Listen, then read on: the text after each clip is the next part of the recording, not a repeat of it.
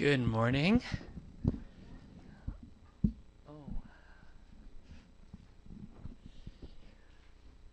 So again, we want to welcome you to um, to, to, to to our Good Friday service. Uh, we have um, for, for, for, for those of you who um, are familiar with, uh, with, with, worship services, uh, what normally happens is um, the uh, worship team, uh, the, the, praise team comes up and, uh, and they lead us in a time of singing.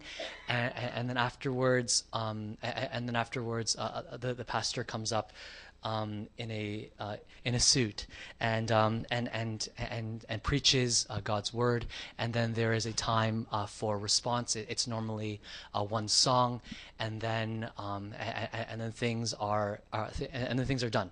Um, and uh, and and so and so when you see me up here, uh, no- normally this or, or or when you see Reverend Ted, normally this marks the, the, the halfway point.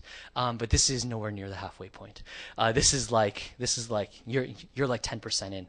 Um, um, this is a time um, today we decided um, uh, the the English leadership, uh, we decided that today would be a day where we wanted to uh, give you an opportunity to uh, respond to God.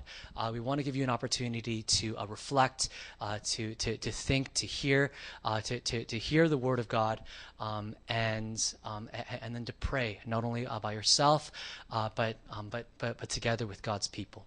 And so um, my job today is um, is just a part of this leading process. Um, this this this whole um, morning is going to be um, pretty much a a, um, a, a, call and response, call and response. Um, so to kind of take you through uh, what what has just uh, gone on, um, the, uh, the, the, the praise team uh, led us in a time of uh, of singing of God's uh, goodness and His majesty and His beauty and His glory and His awesomeness.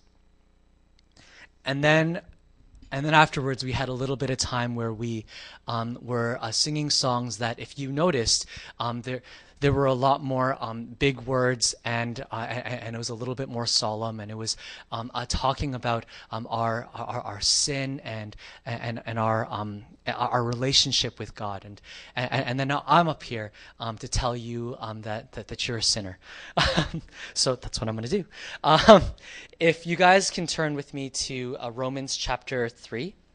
Uh, this is where we're going to be spending our time today.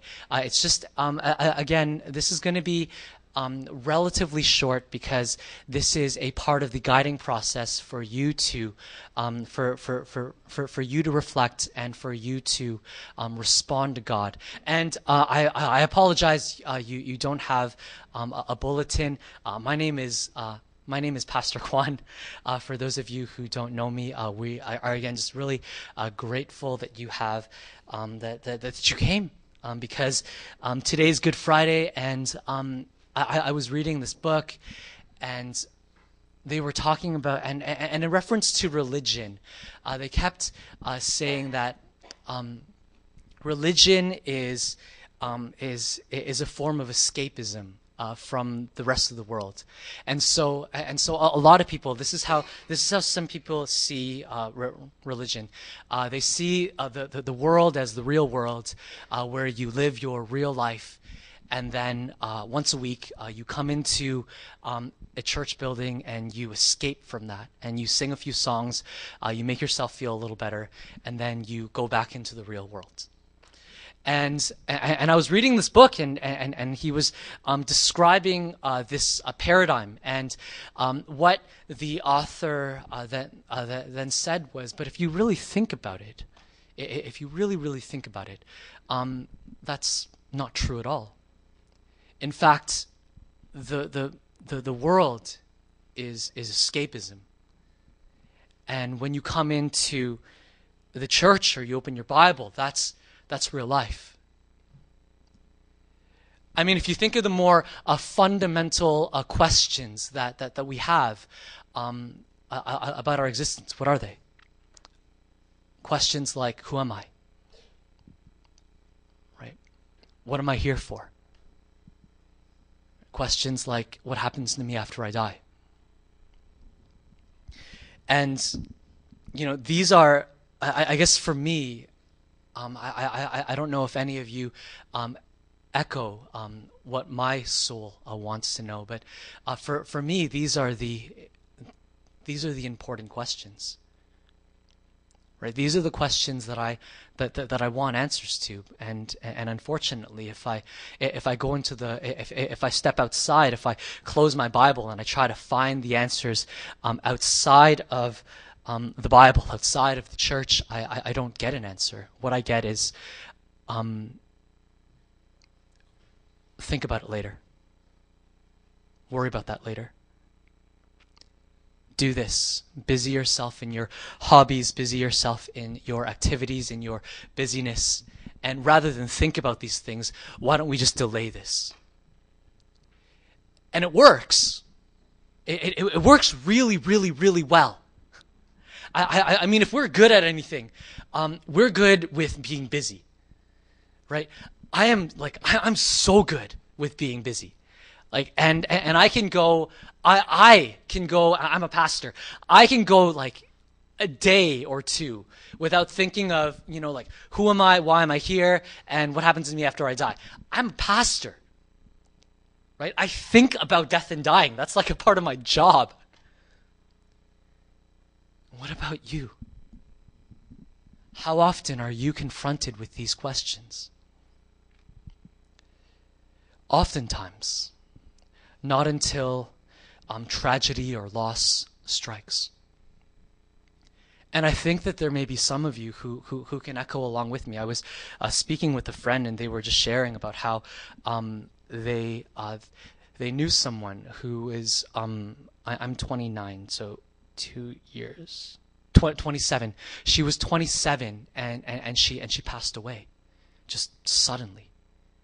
Right? She got married like five months ago, and then she passed away, just all of a sudden. And her friends and her family are now mourning, and many of them are now dealing with loss, and now many of them are, are wondering, right? What happened to her? Where is she now? What's going on?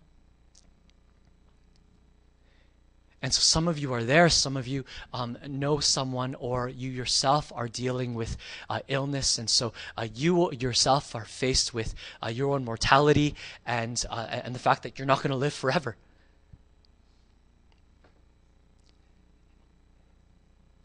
And in our more sober moments, we have these questions that are um, that, that, that, that just bombard our souls. And if, and if you're not there, then at the very least, um, it's it's Good Friday and um, it's a religious occasion, and you are again moved to uh, think about um, these fundamental questions of our being. Who am I? What am I doing here? What happens to me after I die? And I want to take just a few minutes just to, um, I get, if not tell, then remind us of uh, of the fact that the Bible uh, not only provides answers for this, provides glorious answers, amazing answers. And so, if you guys uh, have a Bible and if you guys are in Romans 23, uh, 3, uh, all we're going to do is we're going to read a couple of uh, sentences from the Bible and then we are going to um, explain them and then we're going to respond uh, to them. So uh, Romans uh, 3:23 starts off like this. Wait, is that is that mine or yours? Okay, so that's that one's mine. Okay, um, okay, that would be bad. Uh, Romans 3 uh, verse 23 uh, reads like this: For all have sinned and fall short of the glory of God. Now, right away in this one sentence, the Bible gives us um, our answers to our questions, or answers to our questions. It might not be your answers, but it is an answer. Who am I? I am a sinner. What does it mean to be a sinner? Someone who sins. What is it? What, what is a sin? A sin, very simply, is just a wrongdoing against God. And so um, to uh, do wrong, to, to, to do uh, bad things or to not do the good things that you have been asked to do, that those are, uh, let's, let's just keep it simple and let's classify those as sins. And so when, when we're talking about doing, we're also talking about your thought life. Um, and, so um, the things that you have done and thought that are um, that, that, that are bad or wrong, or the good that you have not um, done. And and I think all of us um, in this room, no matter how um, loose our definitions of, of right and wrong are, I think we can say that uh, we're, we're, we're not perfect. Um, and so I, I, think all of us would un, would would, would uh, cede to the fact that we have at some point in our lives done wrong, thought wrong, or not done as well as we could have or should have. And so the Bible would classify all of us as uh, as as um, those who have sinned or sinners. So who so who who are we? One answer is we are a sinner. Uh, why am I here? Um, in, the passage it says uh, we fall short of the glory of God. So um, we were here. We were made. God made us to uh, be in a relationship with Him, uh, to worship Him, to know Him, uh, to bring Him glory and honor with our lives. But we have rebelled against that for the most part. And we have done wrong in His sight. And in Romans 6:23, the Bible also says uh, the wages for our sin, the consequences of our wrongdoing, is death. And death is not just a uh, death. We're not just talking about a physical death, but we're talking about um, a, a, an eternal, a spiritual death, where we will spend the rest of uh, forever in hell. And so, right away, one sentence, three answers. Who am I? I am a sinner in the eyes of God. What am I doing here? I was made to worship God, but I've rejected that.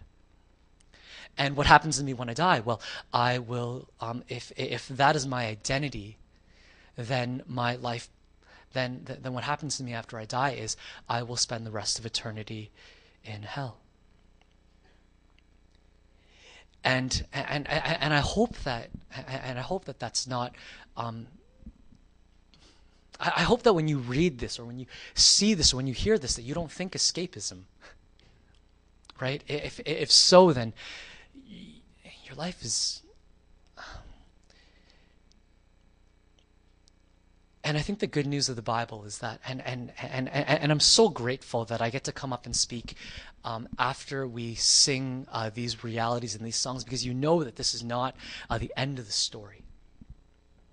You know that God doesn't only see us and say, You're sinners, you're going to hell, you know, peace out, that's it. Right? For God so loved us that he sent his uh, one and only Son to die on a cross for our sins. If we keep reading in verse 24 and 25. So we have sinned. I put that in parentheses just to um, j- just to summarize uh, the previous sentence and are justified freely by his grace through the redemption that came by Christ Jesus. God presented him as a sacrifice of atonement through faith in his blood. The Bible tells us that Jesus willingly offered himself, God, to be our sacrifice of atonement. Now, what does that mean? I will explain with an illustration that I have used a lot of times, especially um, with, uh, with, with high school and junior high students. And so, for, for, for those of you who have seen or heard this before, um, I, I, apologize. Um, but but imagine and just just picture for a second that that, that your whole life's effort was um, is is contained in this bottle of water. All right. And every single time um, you, you, you, you, do a good thing. Um, you put uh, pure water um, into this bottle, right? And, and, every single time you do something bad, uh, you spit into the bottle. And so, um, and so it's like you spit into it, right? And, and, and over the course of your life, uh, what, what you're going to do is you're going to accumulate good things and you're going to, and, and, and you're going to fill it up with, uh, with, with, pure water and then you're going to do uh, some bad things. And so there's going to be spit, and so, over the course of your life, um, this is what you will do. You will, uh, you, you, you will fill this bottle. And at the end of your life, when you pass, what you are going to do is you're going to pass this bottle to God. And if God is willing to drink from it, then you get to go to heaven. And if God is not willing to drink, then you go to hell. Now, we have already said that all of us have sinned, all of us have spit in this bottle. And so no matter how good we are, no matter what, how, how much good we do, what we're not doing, we're not removing spit, we're just adding water. So we just have a, a cup of spit. And, and we give it to Jesus, and we give it to God, and we say, and we say, drink up. And he's going to say, no, you're going down. And, and, and, and, and that's, and that's all of our fate. But the good news of the Bible is that beside every one of us is Jesus Christ. And uh, Nate, if you can pass me your bottle. And Jesus stands beside us with his a bottle of pure water because he lived a perfect life without sin. And he's standing beside you and he's saying, and he's saying, Do you want mine? And for every person who, while on earth, has uh, believed in God, repented of their sin, and committed to a relationship with Jesus, um, he makes that trade. And so you take his bottle, and then God takes a sip, says, It is good, you are in. But what we have left over is we have this, this cup of spit that Jesus is holding. And God looks at Jesus and says, I will not drink from this. Someone must pay for this.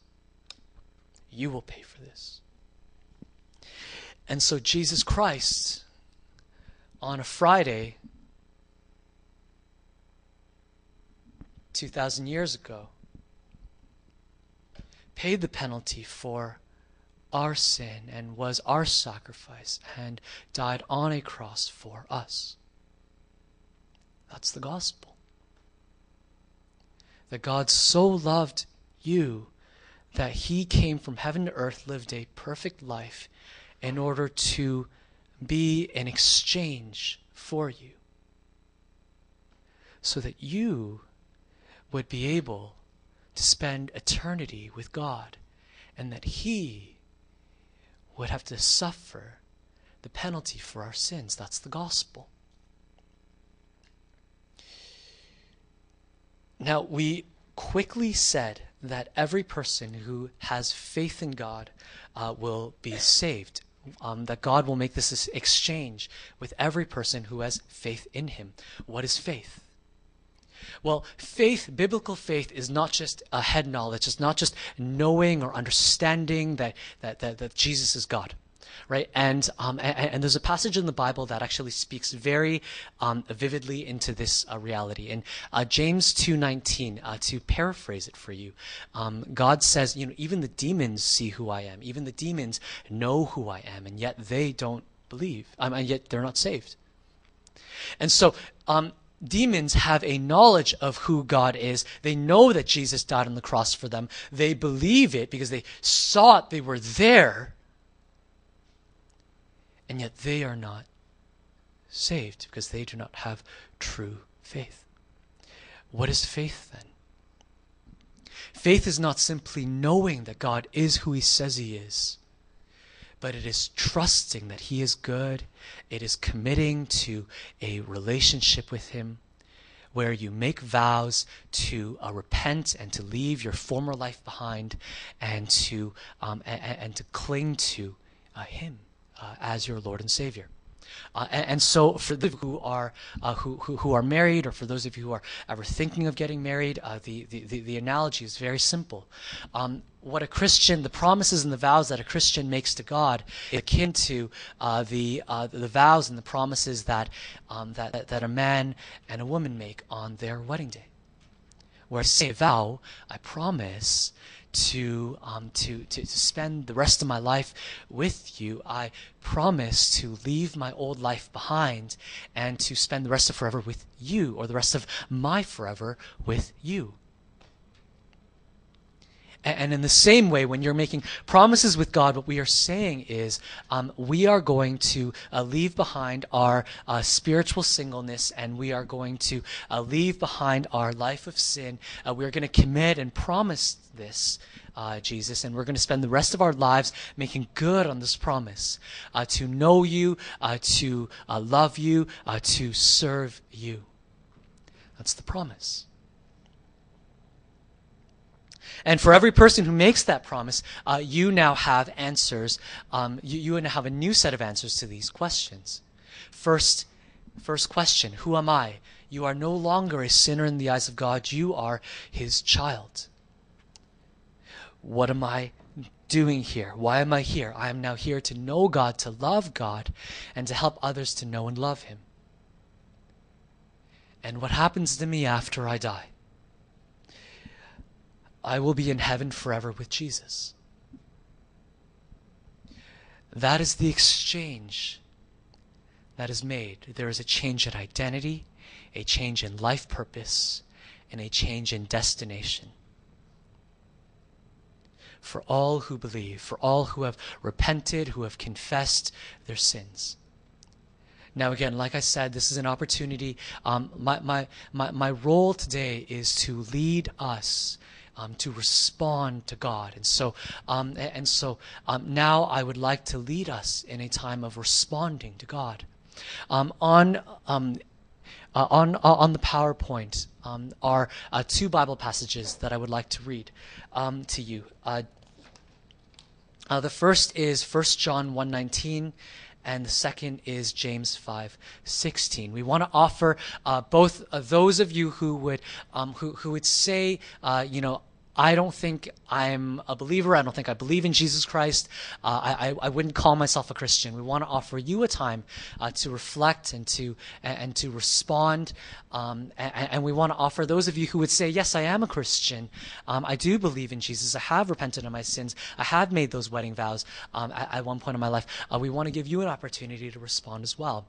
Your response is different. So uh, 1 John 1.19 says, uh, If we confess our sins, he is faithful and just uh, to forgive us our sins and to cleanse us from all unrighteousness. And for believers, confess your sins to one another and pray for one another that you may be healed.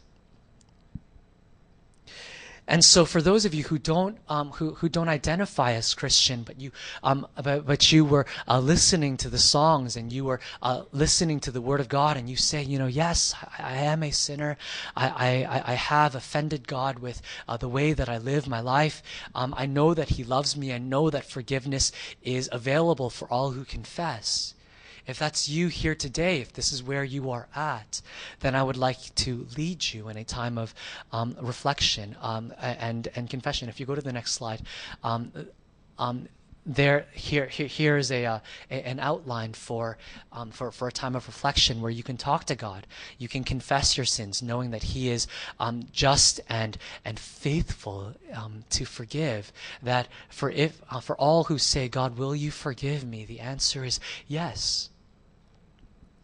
And so you can come to Him, and in your time of uh, silent confession and repent uh, and reflection, um, you can do that today. And you can thank Jesus for dying um, on the cross for you. You can repent of your sins. Repentance is simply uh, just saying, uh, God, you know, I am, uh, I, I, am sorry uh, for, uh, for, for living my life apart from you. I'm going to stop living my life apart from you. And I'm going to start, I'm going to make a promise to live um, for you, to live with you. So repentance is simply uh, stopping, turning, and walking in a different direction. And so uh, we are making a promise or a vow. Today would be your wedding day for those of you who um, make this promise, your, um, your, your, your, your vow of being with Jesus. And uh, after you uh, make this vow and this commitment, uh, that will be, um, uh, you will be in a relationship with Jesus uh, starting today and culminating um, in heaven. And so that's for those of you who are non-believers. Uh, for, for those of you who are, uh, who, who are non-Christian and you don't feel, uh, you, you, know, you say, you know, I'm not here yet. I'm not ready to do this. Uh, you know, this is just not me. You know, I heard this. I, I'm just not there.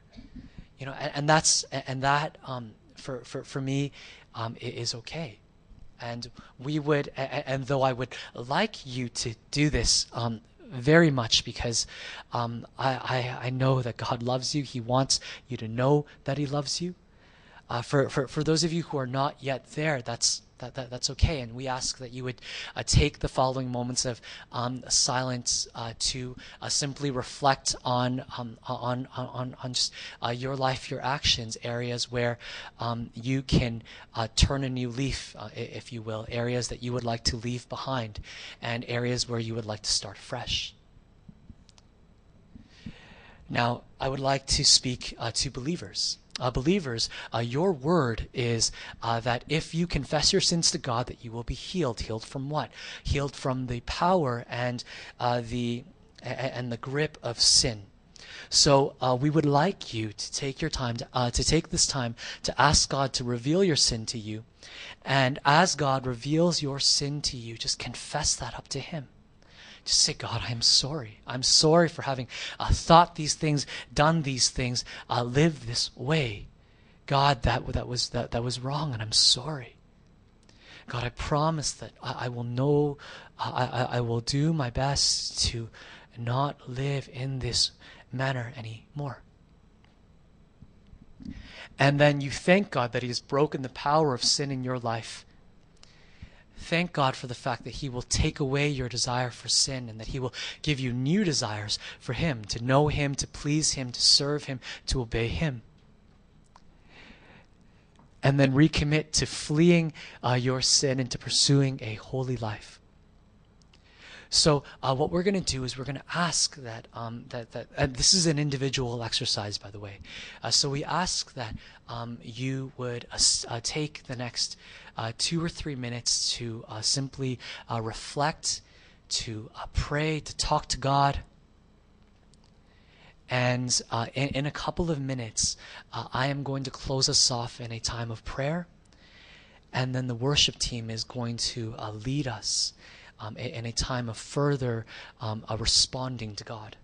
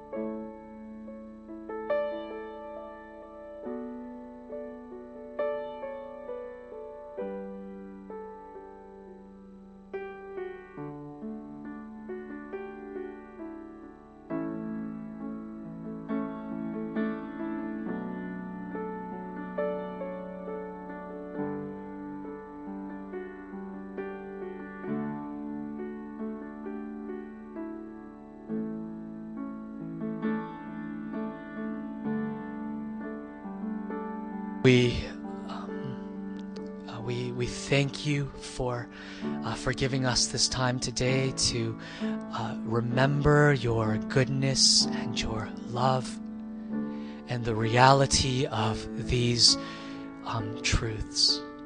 God, we uh, thank you that you are more real uh, than we could possibly ever imagine.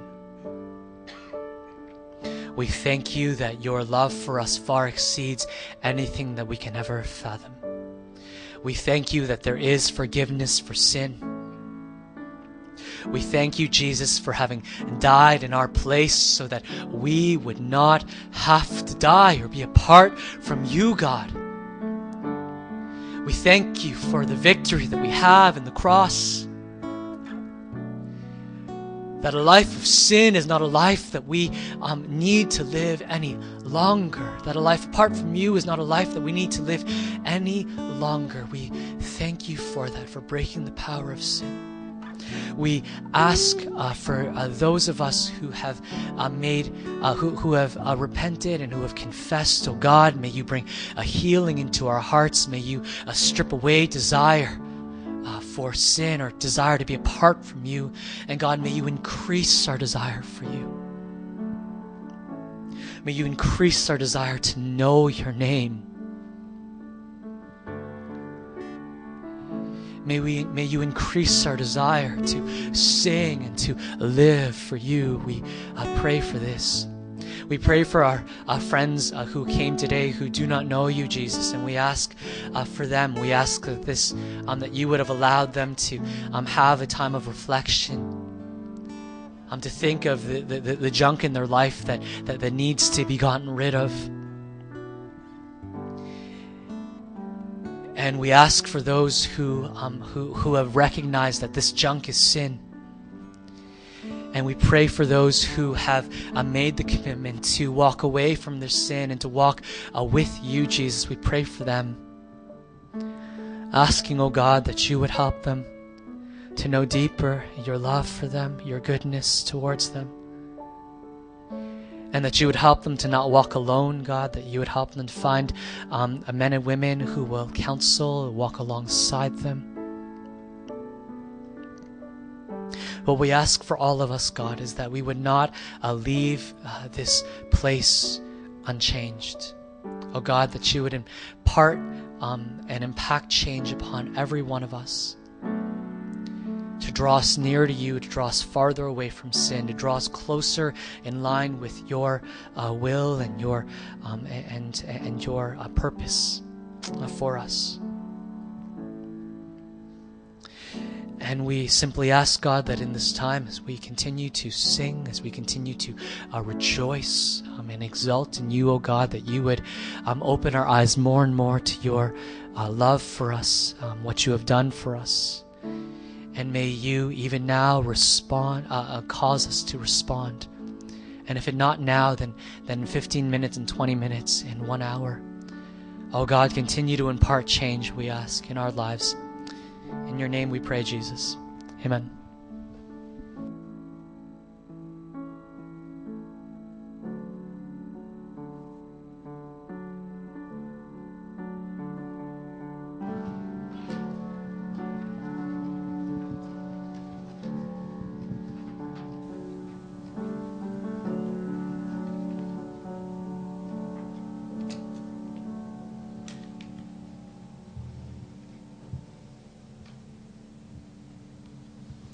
Stand.